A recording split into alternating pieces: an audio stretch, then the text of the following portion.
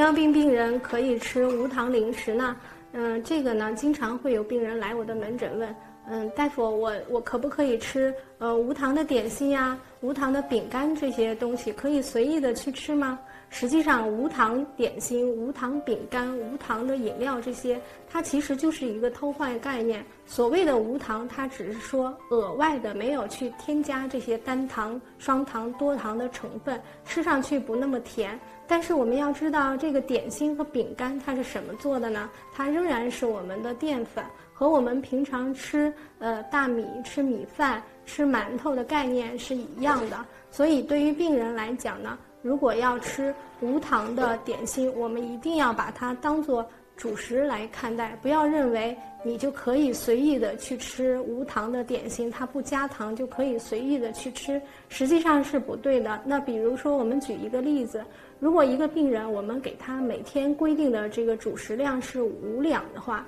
如果今天呢，他买了一些无糖的饼干或者点心，他想去吃一两。那么我们就要在他这一天的主食的五两中减去一两。那今天你要想吃馒头米饭的话，那你就只能吃四两了，不能再去多吃一些呃主食。一定要记住这个问题，他一定要清楚呢。无糖点心、无糖的饼干，任何无糖的什么宣传的那些嗯保健的什么东西，我们一定要清楚，它只是不额外增加。这个糖，但是你要知道它本身是由什么做的，是由我们的大米面和淀粉这些组成的，仍然对我们的血糖是有影响的。要把它当成一个主食，不能说在两餐之间我加一点，那你加的这一点呢，也要算到我们每天的主食量中，每天的碳水化合物中所有的量中。